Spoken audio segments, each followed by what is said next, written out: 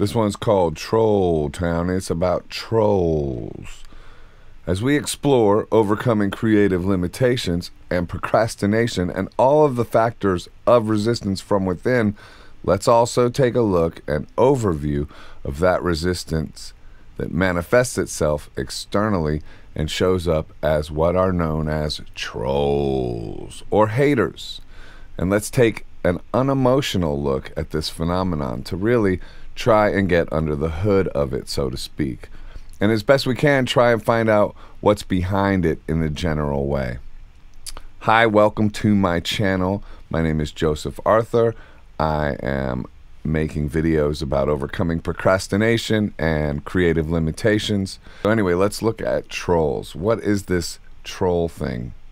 And uh, how can we unpack it in a way that we eliminate their powers? Uh, to make us stop what we're doing and see to it that they don't. Troll Town, what is it and how did it come to be?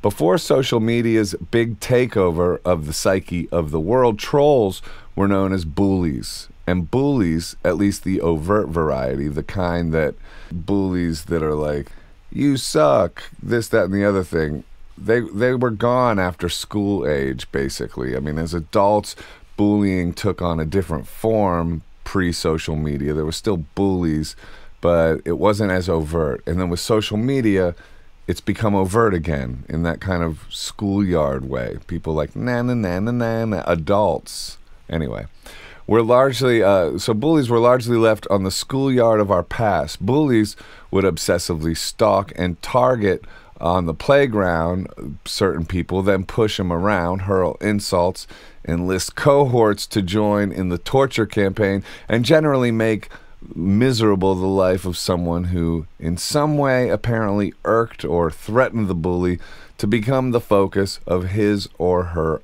ire. I love the word ire. I suppose psychological analysis of the bully has shown that obviously they were expressing their own trauma and fear and finding an external character to project it all on. Usually somebody who was different, maybe a bit nerdy, kind of like me, or socially awkward. The bully would seek out what he saw as a safe target, someone he knew wouldn't fight back. Incidentally, I was bullied a great deal when I was very young. In fact, I was bullied so bad in first grade that I was held back to repeat that grade so that I didn't lean on the younger side of the class, but rather the older side. And that actually worked. I also discovered humor that second year of first grade and became the class clown and somewhat popular in an outcast kind of way. But from then on, I always hated bullies and bullying and would stand up for the victims of it in my various classrooms. The empathetic response I had to it, uh, towards the victims of it, was overwhelming, and I wanted to beat the phenomenon down. You could say the process of writing and making videos about defeating procrastination and overcoming creative limitations is a direct outreach of that. Uh, it's a similar thing. I mean, our own internal bullies are what stops us from doing our dreams. Uh, I feel like led to uh, help people beat those particular bullies up. It's not dissimilar on some level. The bullies, as I said, are both internal and external. We need to analyze and overcome them all to arrive at our voice undeterred. But before social media, we left the bullies on the playground. People outgrew that dance to a large degree and would apologize for acting that way at class reunions the world over, sometimes with tearful confessions of abuse they incurred at the home front, or else the revelation that they had been jealous of their target the whole time. These cliches of bullydom usually had some form of a sob story contained within because everything is energy, and why would anyone invest their energy focusing on something or someone outside of themselves only to give or express animosity and hate? I mean, think about that. It's like str- a strange use of your energy. If you're busy with your own vision and your own dream, do you really have time to obsess about what someone else is posting enough to write hateful things about it? I mean, if it's a political disagreement or something, that's one thing. But a lot of times these bullies will attack I get attacked when I just uh, put songs up, for instance. Someone or something that they've chosen to follow and seek out in the case of social media. Somebody's chosen to seek them out.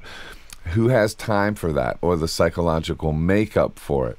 And as any of us who have pushed ourselves even slightly beyond the surface of what makes people tick, understand that bullies or trolls are really just expressing garbage from their own internal world, kind of like litter bugs of the soul. You don't need to be Sigmund Freud to understand this.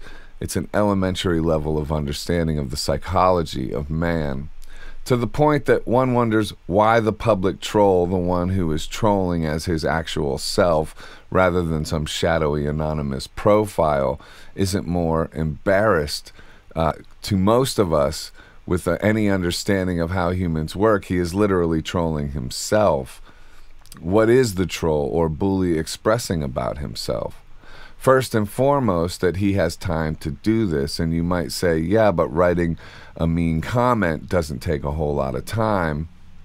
And where that may be true, to be in the psychological space where that becomes an option for you, though, does. We can only give others what we give ourselves. For instance, I've decided to make a prolonged attempt at overcoming limitations and factors that have held me back from fulfilling certain ambitions. And in doing that, write an account of that journey to help other people do the same. I am giving to others literally what I am giving to myself, and that cycle feeds on itself to the point where I get up in the morning and know that my objective is to write on a subject that relates to that end.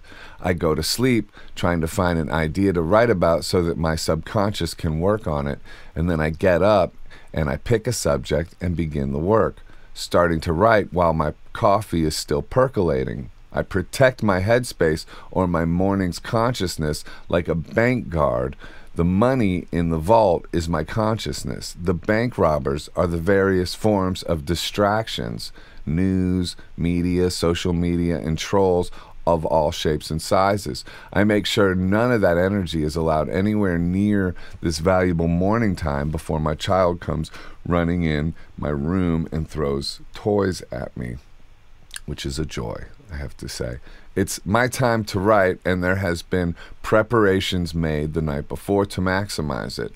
In other words, the time it takes to write something stretches beyond the actual writing time of whatever that thing is. To be a troll denotes a similar commitment to a mental landscape and one that isn't particularly flattering to the haters or the trolls. They are essentially communicating that they are lost, that they aren't swept up in their own evolution, in their own desire to express themselves beyond an ugliness in their soul and overcome that ugliness to give encouragement to themselves or their fellow man. They're not interested in that. The phrase, you should be ashamed of yourself, comes to mind when analyzing this phenomenon. And the truth is, is that they are ashamed of themselves and to such an exaggerated degree that they are spewing that shame onto externalized projections on a public stage. They are embarrassing themselves with an unkept mind, like a strange episode of Cribs, where the camera crew comes into a shack that is a disaster area with nothing but a rusted tricycle in the garage and perhaps corpses from the past that they still have issues with. I think it's helpful to see things like this and really break them down because the truth is to unlock your own limitations and pursue a vision you've held yourself back from will be met with many different aspects of resistance, which will at times work in concert to deter you from progress. And if you get ganged up on by the gang that is resistance, a troll can deliver a knockout punch to many in pursuit of a dream. But to really understand the pathetic nature of someone who is broken enough to negatively invest in stopping you does much to eliminate any dark power that could slip into their words. The best way to look at haters and trolls is to recognize what they actually are and to see that you wouldn't be provoking them if you didn't represent a threat, if you weren't provoking their envy by overcoming something they weren't or can't allow themselves to overcome. It's really as simple as that. Psychology 101. The only question you, you need to ask is are they not embarrassed to display this level of brokenness, or are they so broken that they simply don't care? And if you really want to earn a black belt in the spiritual jujitsu that is this game, game say a prayer for them and keep it moving. Don't respond though, unless don't respond to their hatred unless you feel like joining them in their garage with a rusted tricycle and some strange corpses of abuse from their past. Don't let the haters get you down. Uh, that's the main bottom line is consider the source. That's it. You just always have to consider the source. And if someone's taking the time to write some kind of hateful thing or some kind of, you know, twisted thing towards something that you express, consider the source and don't quit.